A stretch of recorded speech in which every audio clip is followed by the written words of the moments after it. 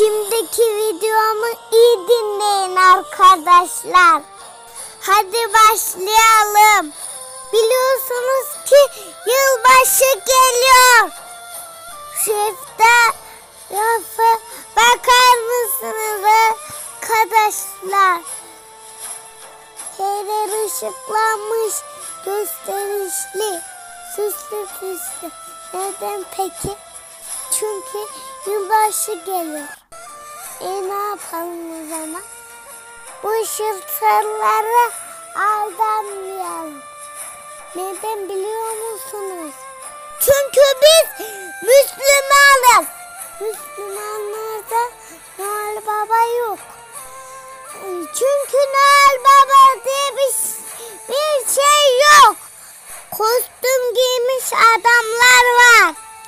Size bir şey anlatayım arkadaşlar. Ben de geçen yıl çam ağacı istiyordum. Noel Baba istiyordum ama şimdi büyüdüm istemiyorum. İyi ki çam ağacım olmamış. Noel Baba dedi bir şey yokmuş. Geçen gün dinin sohbet dinledim. Orada anladım Noel babanın olduğunu. Çam ağacının olduğunu. Çok günahmış arkadaşlar. Her şey bir gösterişte mübarek. Biz yıl başında ne yapacağız biliyorsunuz mu? Namaz kılacağız, Kur'an okuyacağız. Bizim için o doğrusu bu. Yabancılar hiç kurban kesiyor mu? Tabii ki de kesmiyor. Peki siz neden yılbaşı kutluyorsunuz? Ne için bu çabalar? Ömrünüzden bir yıl daha geçiyor arkadaşlar. Farkında değil misiniz? Bırakın şu gösterişli işleri. Peygamber Efendimiz ne demiş biliyorsunuz mu? Kim bil? Kavmi. Benzemeye çalışırsa da onlardandır. Diyormuştur.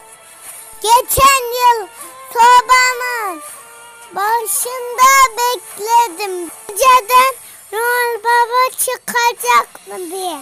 Ama ne sonuç biliyor musunuz arkadaşlar? Yok yok yok.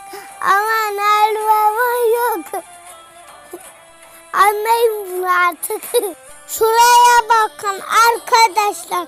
Her şey çam. Çok sinir oldum. Ne oluyor ki çam olunca? Sizin için markette gezdim. Şunun ne kadar gereksiz olduğunu ama insanların ne kadar uğraştığını göstermek için.